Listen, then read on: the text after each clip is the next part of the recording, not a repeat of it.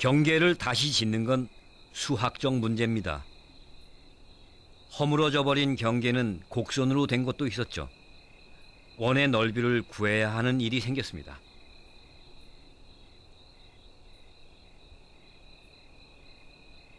원 넓이는 파이 값 3.14를 이용합니다. 파이 값을 모르던 시대에는 어떻게 구했을까요? 50번 문제입니다. 지름이 9캐트인 원의 넓이를 구하라. 그럼 캐트가 뭔지 알아야겠죠? 이것은 가장 작은 단위, 손가락입니다.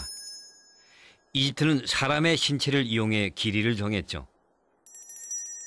그 다음이 손가락 4개의 폭. 이것이 6개가 모이면 어떤 사람이든지 구부린 팔의 길이와 똑같습니다.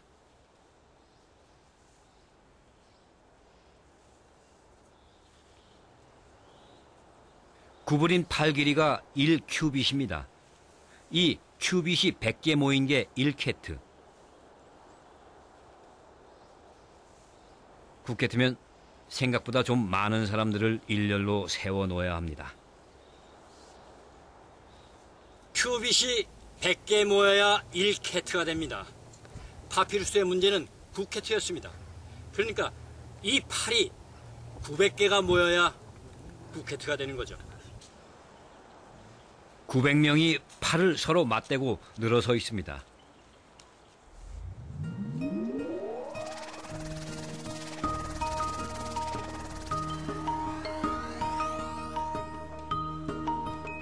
지름이 9캐트인 원. 이집트인들은 어떻게 구했을까요? 먼저 지름을 9등분합니다. 9개 중 1을 버립니다. 8개가 남았죠. 팔을 한 변으로 하는 정사각형의 넓이 64입니다. 이것이 이집트인들의 원 넓이입니다. 이 원과 정사각형의 넓이가 같다는 건 어떻게 알았을까요?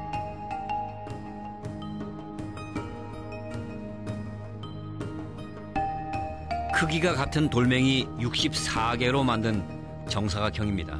이걸로 원을 만듭니다.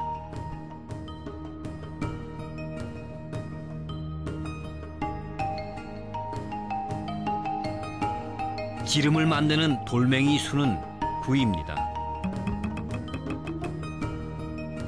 그들은 이렇게 원과 정사각형의 넓이가 같다는 걸 알았습니다. 파이 값을 이용해 원 넓이를 구해볼까요?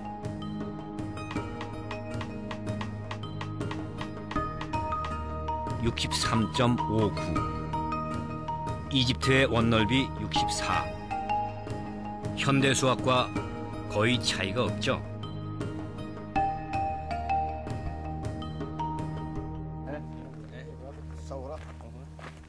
الحمد لله كويس انت ها والثورة الثورة قامت وفرحنا فيها الحمد لله 그들은 왜 그렇게까지 정확한 계산을 해야 했을까요?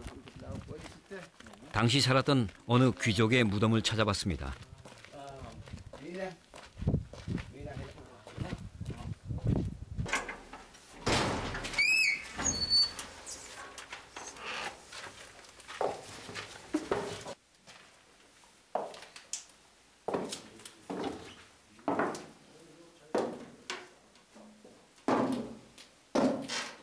이 무덤 주인은 당시 밀 수확량을 측정해 세금을 매기는 고급 관리였습니다. 자신의 업무를 그림으로 남겨놨네요. 당시 국가 재정은 농업 생산이 거의 전부였습니다.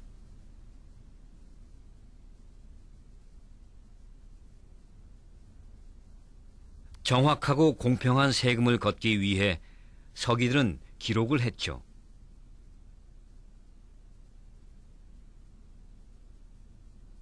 세금을 내지 않으면 얻어맞았습니다.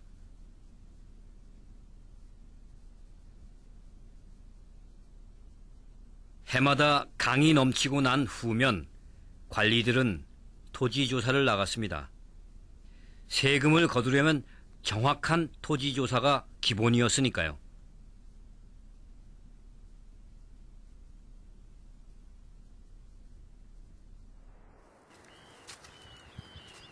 농사는 훨씬 오래전부터 지었지만 수학은 이때 나타납니다. 농민들에게 땅을 나누어 주려면 도형에 관한 연구, 즉 기하를 해야 했습니다.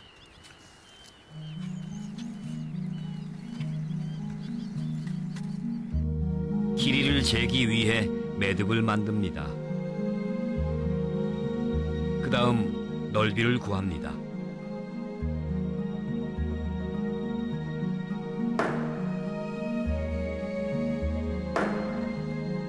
넓이를 구하는 일은 곱셈이라는 또 다른 수학이 필요했습니다.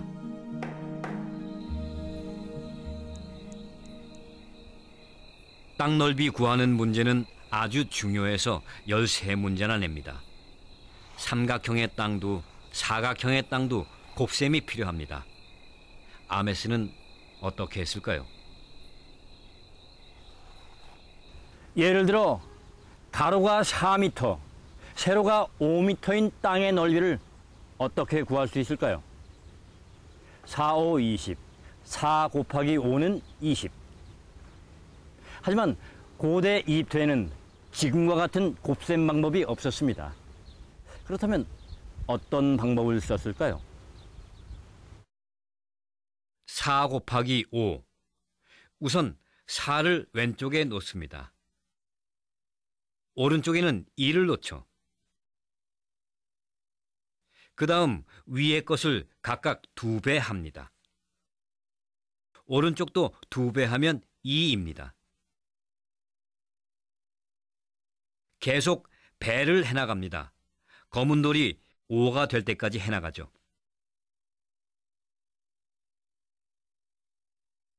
이렇게 하면 5가 됐네요.